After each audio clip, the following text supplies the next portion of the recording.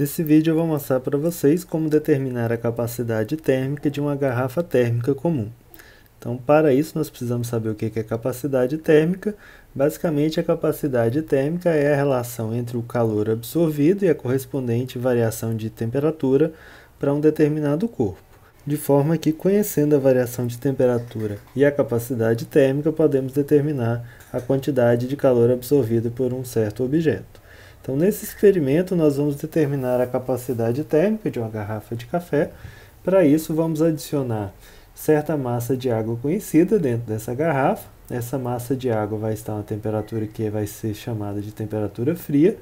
Eu vou aquecer uma outra quantidade de massa de água conhecida e vamos adicionar dentro dessa garrafa de café. E aí, utilizando um termômetro, vamos saber as temperaturas da água quente, da água fria e vamos determinar também a temperatura de equilíbrio. Nós sabemos que menos o calor cedido é igual ao calor recebido, então podemos utilizar essa igualdade para chegar no seguinte resultado para a capacidade térmica da garrafa uh, de café. Então, essa capacidade térmica ela pode ser calculada como uh, o produto entre a massa de água quente, o calor específico e a diferença entre a temperatura quente e a temperatura de equilíbrio, menos o produto entre a massa de água fria vezes o calor específico, vezes a temperatura de equilíbrio menos a temperatura fria. Isso dividido pela temperatura de equilíbrio menos a temperatura fria. Então, através dessa expressão matemática, nós podemos determinar a capacidade térmica da nossa garrafa de café. Então, vamos ao experimento. Nesse experimento eu utilizo essa balança para determinar a massa de água quente e a massa de água fria, porém é possível reproduzir o experimento com um recipiente que meça volume. Nesse caso eu mostro para vocês que através de uma uh, seringa graduada de 10 ml eu consigo determinar 100 ml de água e esses 100 ml de água são exatamente 100 gramas de água. Então, para fazer o experimento, eu taro a minha balança, estou utilizando um becker como recipiente, e aqui eu estou mostrando essa seringa com 10 ml de água.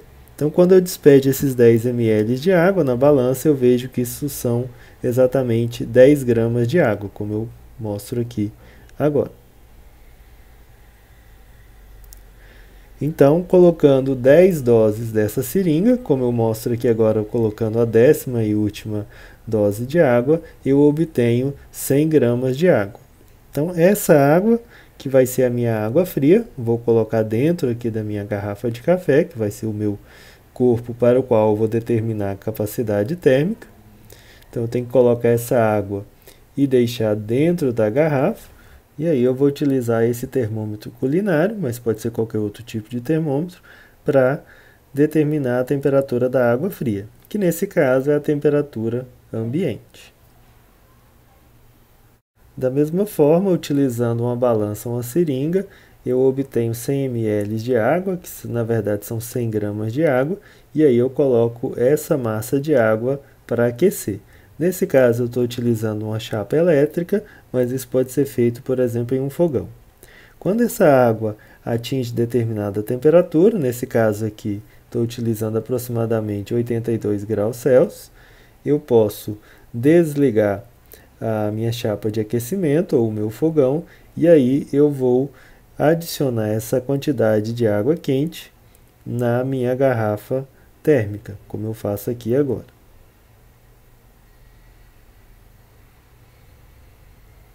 Despejado todo o conteúdo do meu recipiente, que nesse caso é o becker, eu meço a temperatura de equilíbrio utilizando aqui o meu termômetro.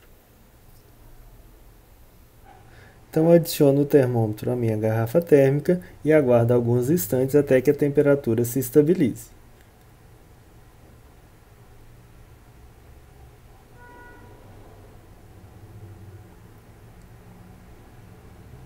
Como nós estamos vendo aqui agora, no caso do experimento que eu fiz, a temperatura ela se estabiliza em aproximadamente 54 graus e meio. Essa é a temperatura de equilíbrio. Então, através desse valor das massas de água quente, massas de água fria, das temperaturas é, fria e temperatura quente, nós podemos calcular o valor da capacidade térmica dessa garrafa de café.